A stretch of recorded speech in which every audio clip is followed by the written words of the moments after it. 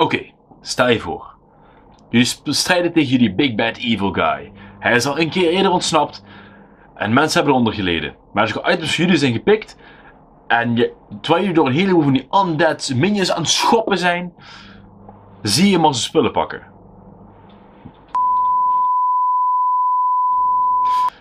Erachteraan.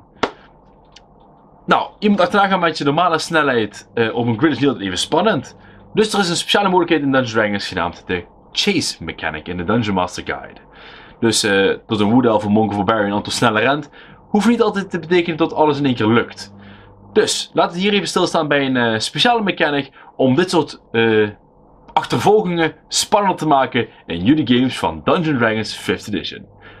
There we go.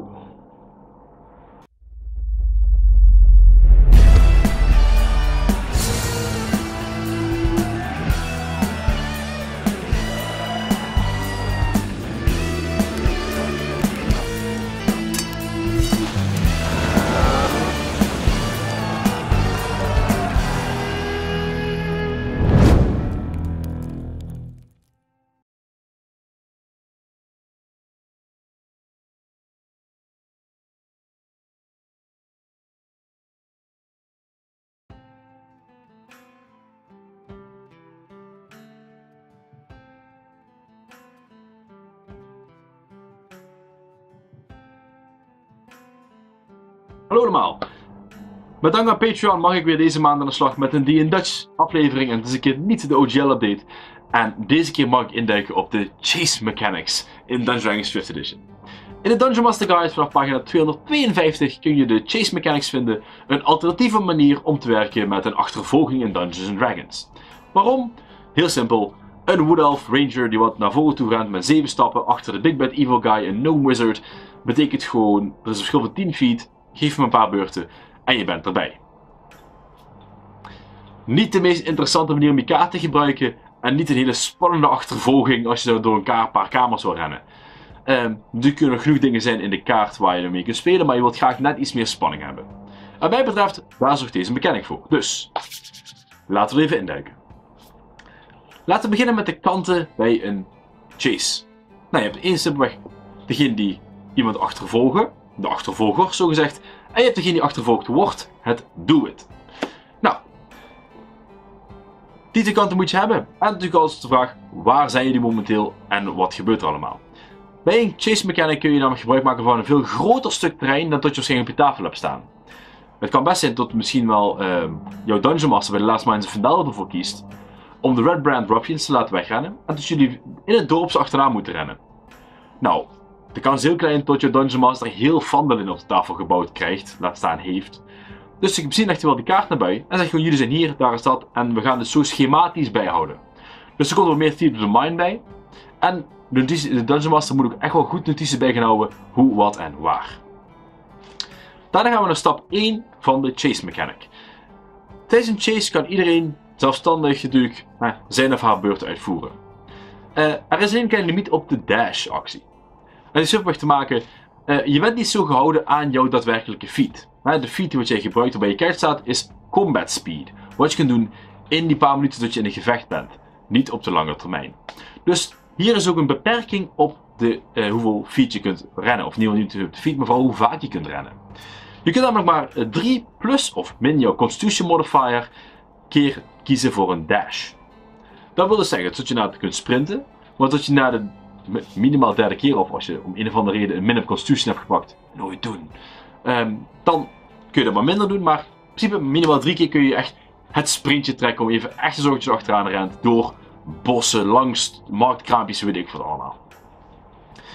Als je de limiet hebt bereikt, en of het nou 7 is voor de plus 4 Constitution Barbarian, of de twee keer bij een min 1 eh, bonus bij de Warlock of zo, dan moet je een difficulty class 10, een drempelwaarde 10, Constitution checken dobbelen, om te kijken of je geen level exhaustion krijgt. Dus, je bent gaan rennen, je hebt je normale sprints opgemaakt, je wilt toch even doorzetten, ro- rooi je na het einde van jouw beurt een difficulty class 10, Constitution check. Red je die, geen probleem, je kunt nog even doorsprinten, je hart boomt in je keel, je longen staan in brand, maar je kunt het nog. Of je gooit te laag, En dan betekent het namelijk dat je een level 1 exhaustion erbij krijgt. En zoals je wellicht weet bij de conditions, bij, uh, zoals ook in de eerdere D&Dutch video, level 5 exhaustion betekent no movement.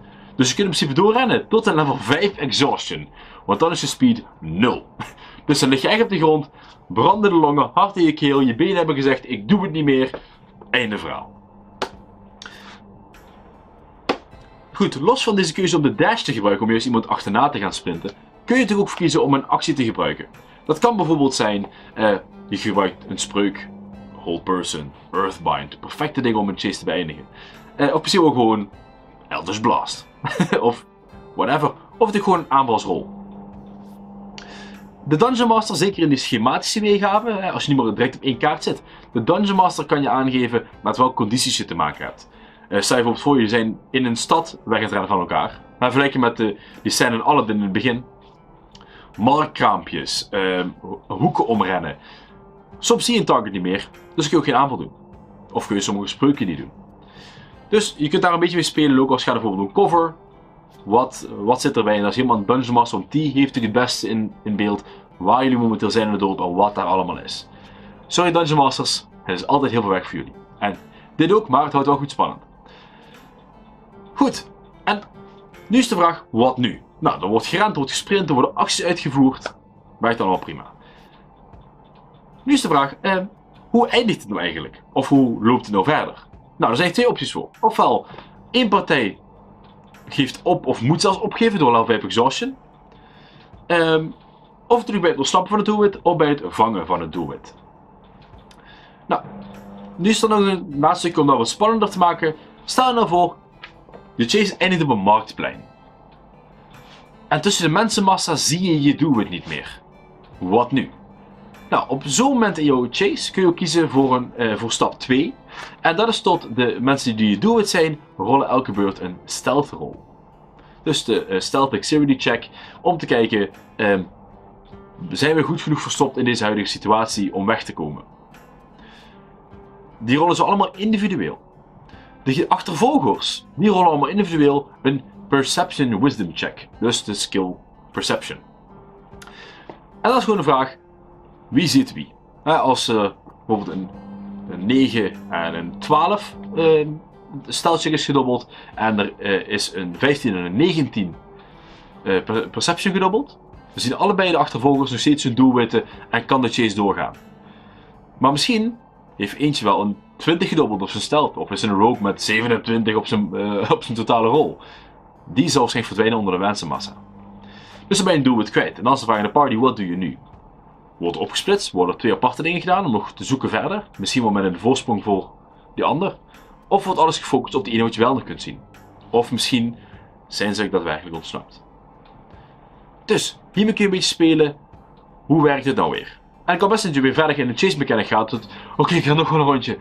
En met je level 3 exhaustion erachteraan aan het rennen bent. Dat kan, dat wordt ook spannend. Nu zijn er een paar dingen goed om te weten. Ah, de mensen die wat betrokken zijn in een chase kunnen geen reactions gebruiken. Dus een track of opportunity lukt niet. Daarentegen omstanders kunnen dat wel.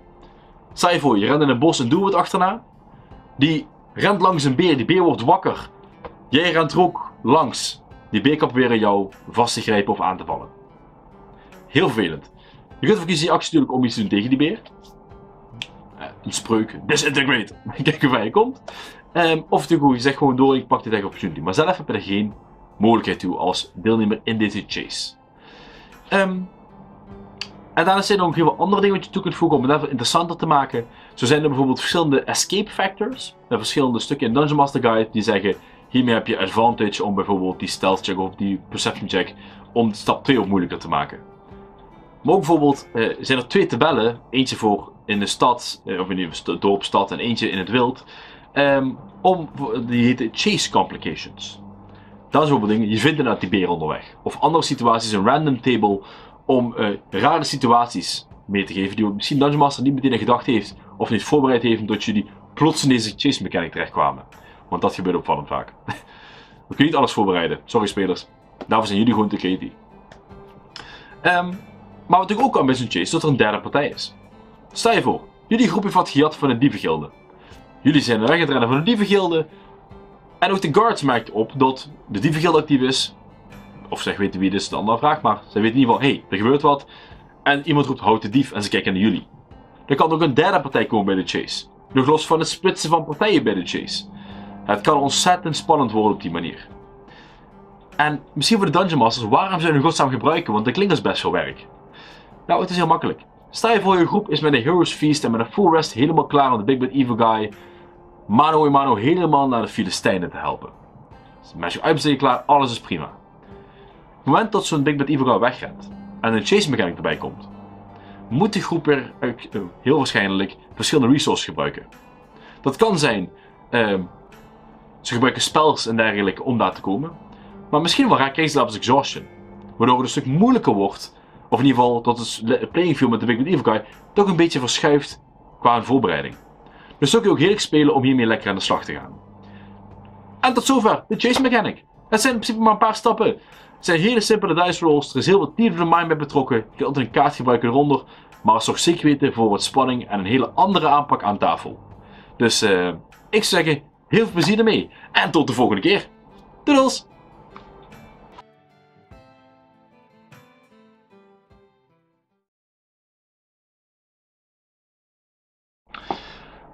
Dames en heren, dat was de eerste Die Dutch video van 2023. Hartelijk bedankt voor het kijken. En uh, als je nog ideeën of vragen hebt, we hebben de Discord server natuurlijk ervoor. En zou je me zelfs willen helpen met deze video's en vind je tof wat ik doe, er is nog een Patreon account. Uh, krijg je niet alleen een speciale rol op Discord, maar je kunt ook stemmen en uh, eh, jouw stem beweegt daadwerkelijk voor welke video de volgende is. Dus ehm, laat maar komen. Bovenal, ik hoop dat jullie kunnen helpen met meer avonturen aan tafel ondanks alle OGL dingetjes hoop ik toch wel gewoon lekker leuke spellen blijven spelen met elkaar. En uh, dat deze video's jullie daarbij helpen om daar het uh, meeste uit jullie games te halen. Dus uh, dat was het meer. Doedels!